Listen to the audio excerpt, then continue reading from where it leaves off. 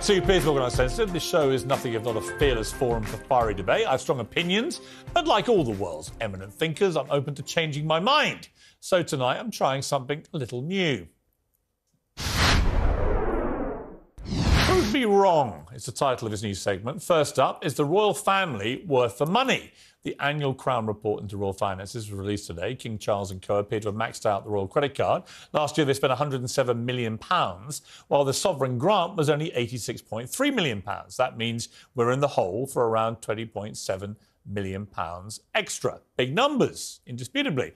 But in my view, the royal family still represents stunningly good value. I say they're worth every penny.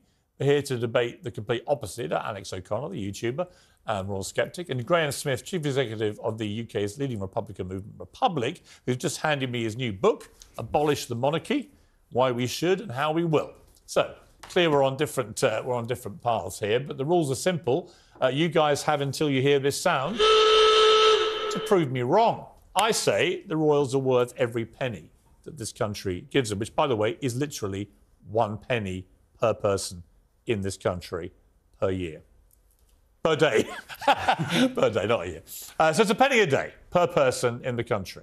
Well, it's not. And the point, the first thing to say about this this debate is that the monarchy is not a financial transaction. So the, whether it's got makes a profit or not is neither here nor there. The measure of whether it's a good institution and worth keeping is whether it's good constitutionally, because that's what it's there for. Why are you so against and, it? Out of interest.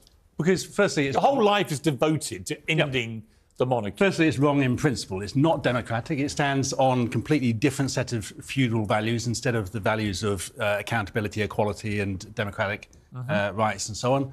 Secondly, as an institution, it is not fit for purpose. It falls well short of the principles of public life. Um, I don't think it's going too far to say it's corrupt. And constitutionally, in terms of our politics and, and, the way power is exercised, it funnels a lot of power. what have been the four most watched events globally involving this country in the last three years? Yeah, but that doesn't. Really, no, hang on. Well, you're going to say the weddings and the jubilees. Just answer, answer my yeah. question. You're going to say the weddings and the jubilees. I'm not sure that's even the case because I think UEFA had. Um, well, forget uh, forget football. Well, okay, you can't just say forget football. Well, national, it's, national events. More pop- national events. most viewed events except national events which, which universally show this country. But the coronation, nine percent of this country were enthusiastic about the coronation. Fifteen percent by another poll. So, the, you know, in terms of royalists, most people you know, people that you can genuinely call royalists is less than 15%. All right, but see, here's the point I think, which I think you both you guys are missing. But I mean, try and convince me, Alex. I just think when the world looked at the Platinum Jubilee, for example, when the world looked in a very different tone at the Queen's funeral, the King's coronation, you look at these events and it shows Britain, in my view, at its greatest the pomp, the pageantry, the ceremony, the military precision. Oh, Everything worked like clockwork. Everyone around the world who was watching this, who was watching, and I, as a caveat, many people are not interested, I get that, but the millions, tens of millions around the world that watched it thought better of our country. How many things has happened in our country in the last three years involving our leaders, for example, which have brought shame and ignominy to the country? Here, you have a chance to show us at our best. Uh, what, what yes. price do you put on There's that? nothing about the royal family that's brought us shame in your opinion, that you've been sort of oh, loads of things. relentlessly as human about. beings, the, the idea that the monarchy human beings, they are above as, the politics they are as fragile country, as any of us. And you say, you know, it doesn't help us to escape the various political scandals of prime ministers and presidents. Well, does it?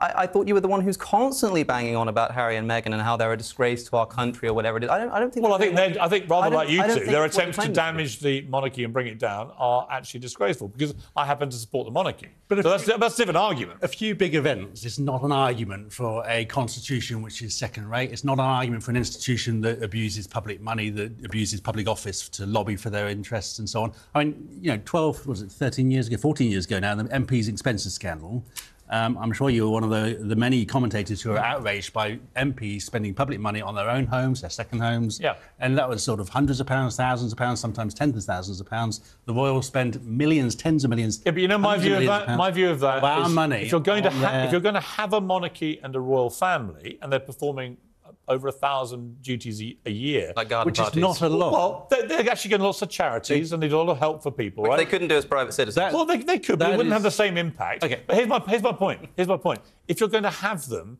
you should give them all the trappings. Why? Of a ro- Why- because where- otherwise the- they're not a royal where's family. the They're not a monarchy. Where's the logic The logic that- is that if you want we- people to buy into the magic of a monarchy and royal Right, family, but it's not- you've got to give them the tools But it's to not- be magical. It's not magic, it's this corruption. What would you have them in? A little tes- Tesla? Uh, maybe, No. maybe, a, maybe a suit would be fine. We could start by getting rid of these ridiculous garments. We spent most of the time that we've known What, now dressed King like you? Charles dressed like me. I mean, on. and so to see him for the first time. You're the king dressed like you. him- No offence. Well, but- he'd probably put on a tie. Huh? He'd look more like you, I suppose. Yes. To see him suddenly put on these robes would be like watching Rishi Sunak or someone suddenly but it's don part of our history. ludicrous And actually, it robes, gives holding an something- it gives us something so few other countries in the absolutely world have. Nobody can take it seriously. And you may not like Nobody it, you take it seriously but many around the world love it. If you go to the Caribbean, if you go to America, you go to Canada, many you go to India, you go anywhere in the world, uh, Australia, and they bring They in just so monarchy, much money yeah. from tourism. Well, they, that's not true. India It is true. the No, it monarchy, isn't. That's Caribbean definitely not. It is true. It's definitely not true. Now, the the thing is, there is no evidence. And I've sat down with the CEO and chair of Visit Britain uh, about a decade ago, and I said, there's no evidence that if we got rid of the monarchy, tourism would go down. And they said, yes, you're absolutely you don't right. think the royal family brings is- in any money there from is tourism? no Yes. evidence that that tourism money wouldn't come in anyway. I mean, if you, just, like the if you just look at the money that came in in the weeks leading up to these big events that we've had over No, the last the- four you years, look at the huge amounts of money. If you look at the visitor numbers- American tourists No, pouring the in, visitor numbers Australian go, tourists, the Canadian visitor numbers tourists. go down when these things happen. If you look at the visitor numbers, they go down when these People things stay happen. away from these kinds of things. And, and if I may say, Chester Zoo is a bigger tourist attraction in the UK than Buckingham Palace or Windsor Castle. I wouldn't be in favour of a state-funded ceremonial opening Hmm. When was the last of time its new hundreds of chimpanzee millions of people exhibit. around the world on I television certainly, I watched certainly the, would watched not be the birth of a penguin at Chester Zoo? I certainly would not be in favour don't, do they? of its owners or its directors, or indeed the, the, the sort of sometimes sinister and yet still to be pitied animals you that are go- kept within its cages, Right, go- given any kind of political when do office we, over the when rest do of we beam the lives of The the, whims of inmates tourists, of Chester Zoo the to the whims world? of tourists Yes, are I mean, not when- a good the justification for political office. The thing that the tourists are spending big money on event? I mean, is not when's the way to decide What the head about state's what going to be. about uh, William's campaign at the moment to end homelessness? Yeah, fantastic. Funded by what? Funded Huh? by funded, Funded by us. And, and what's this? Like three million? It's three three million million pounds? pounds. You so you don't like his campaign against homeless? I think it's performative. wonderful. What have you got against the homeless? It's nothing he couldn't do Huh? as we, a private citizen. we give him What is- 22 million pounds. what do you have against the homeless? what is it? we, what- ha- we give him 22 million pounds. We Here's- could spend that on. you don't want him to help the homeless. that's homeless. the most ludicrous thing you've said on this show, and that says a lot.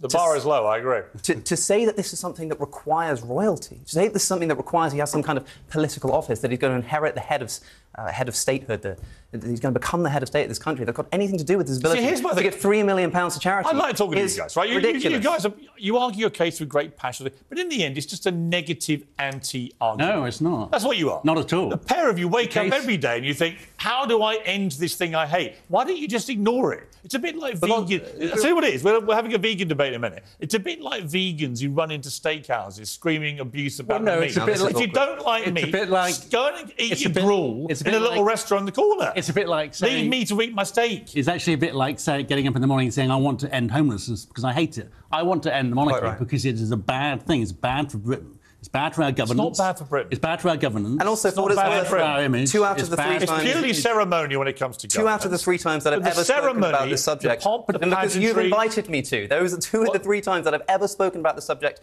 in public. Yeah. It's because you've invited me to. So I don't think it's me who's banging on about this. It's not me who's waking up every day just desperate to see the Every end time of we the monarchy. call you, you're, You're the one every time you call, we you're- call you, your answering machine says, "If that's Piers, I'll do it." So don't blame me. Uh, the klaxon's gone. The big question: Have you? I think we know where this is going on the first one. But have you proven me wrong? No. Yes. Haven't. Have we convinced you? haven't. is another question. You haven't. The thing is, Read my book and then come back to me later. I will read your book, but I've got a pretty good idea what's in it because it's got Owen Jones quoted on the front saying a crucial, riveting polemic. And what Owen Jones knows about crucial, riveting polemics can be written on a postage stamp which judge it has yourself. You're the king, in it. which has the King of the United Kingdom's head on it, by the way, not Owen Jones's. Uh, gentlemen, And God save him. a good well. Nobody indeed. else is going to in this country. Yes, they will. It's a lot more royal fans than you think. Uh, gentlemen, good to see you. Thank you. Your campaign will fail, but it will fail with passion, and I admire that. I'll bet you a tenner. Okay. Is that £10 with King Charles's picture on it? Yes, it is. Uncensored next. Celebrity chef John Mountain sensationally bans vegans from his restaurant. He says this to protect his mental health. He joins me next live.